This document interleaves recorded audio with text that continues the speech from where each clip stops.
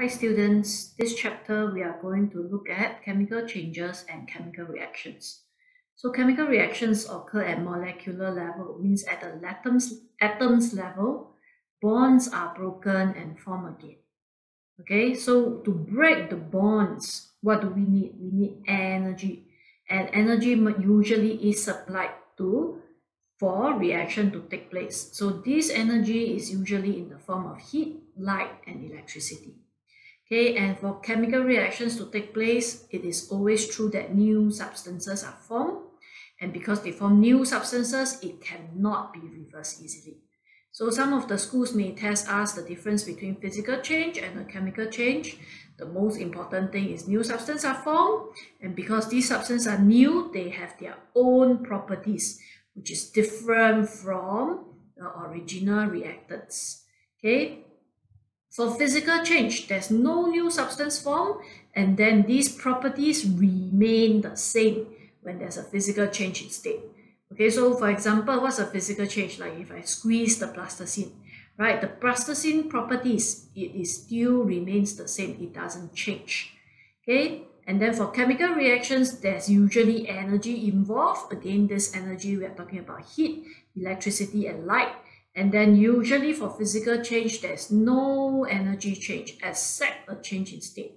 So except a change in state, what do we mean? So for example, if I boil water, H2O, water is H2O, right? And it is in liquid state. If I boil it, I definitely need to supply energy, right? But when you boil your water, it becomes H2O, water, vapor that's in gas state.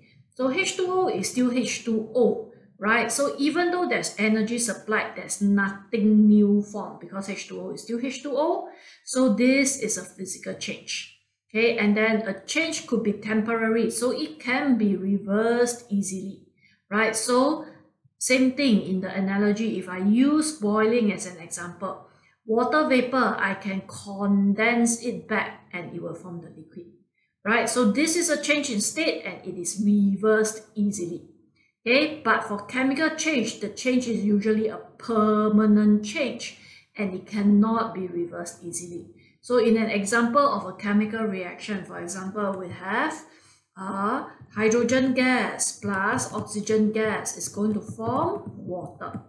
Okay, if you learn about balancing equation, then we have to balance the oxygen atoms by putting a 2 in front. This is 2 molecules of water. And when you put 2 molecules of water, then you will have 4 hydrogen atoms in total. So this part, you also have to put 2 in front to get your 4 hydrogen atoms. So once this reaction happens and water is formed, right, it doesn't mean that if I go and heat the water, heat, heat, heat, I supply heat to it, then it can change back, right? It is not so easy to reverse the reaction back into hydrogen and oxygen gas. And this is a chemical change. Okay, most of the time we will make some observations in chemical change, not so much the physical. Okay, so when we see there's a change in color, most of the time we can conclude that it is a chemical change. So the change in color must be permanent. Okay, if you see a change in color, what we should do is to do further tests to show that new substance are formed. Okay, so sometimes, right, for an example, yeah, I can have a white powder. Okay, so this white powder is copper 2 sulfate, one of the chemical reactants that we always use. Okay, and this white powder is dry. So when I add water to the, to the powder, the, the powder okay, will turn blue. So there is a change in color, but this change in color is physical. How you know it's physical? This because right there is no new substance is formed. It is just a hydrated or a wet powder. The blue powder is just a hydrated or a wet powder. And I can heat the blue powder. It will turn white. Why? Because when you heat it, it removes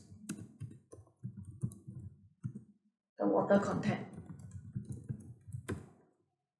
Okay, so when you remove the water content, it is not a physical, uh, sorry, it's not a chemical reaction, it's just physically removing the water. Okay, most of the time, if there is a solid form, right, and then in upper sec, right, we will learn it as a precipitate. Okay, so most of the time, if the if you mix some reagents together and it turns cloudy, we don't say it's cloudy anymore, we will say it's a precipitate, and then we just identify what is the color of your precipitate.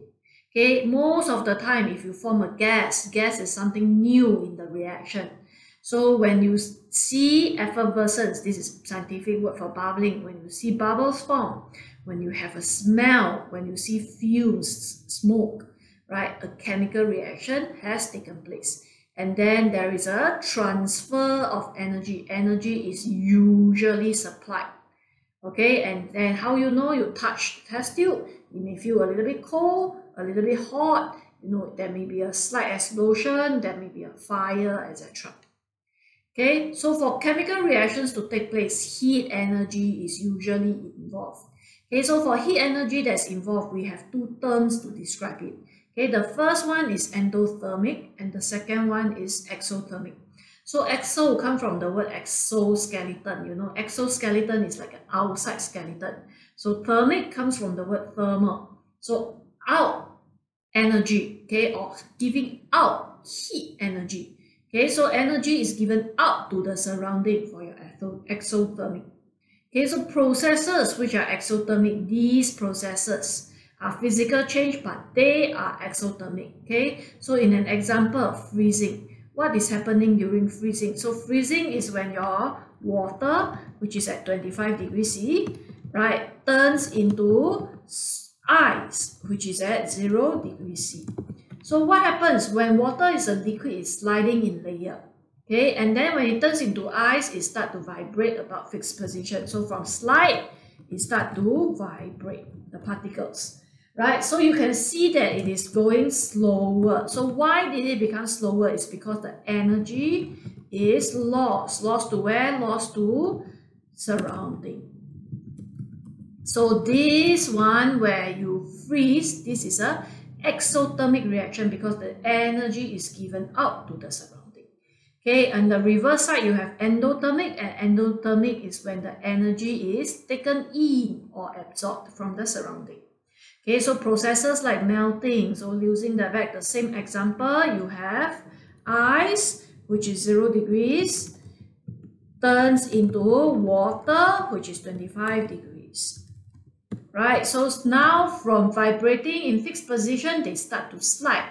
So they are moving faster and faster. They gain the energy so they can move faster.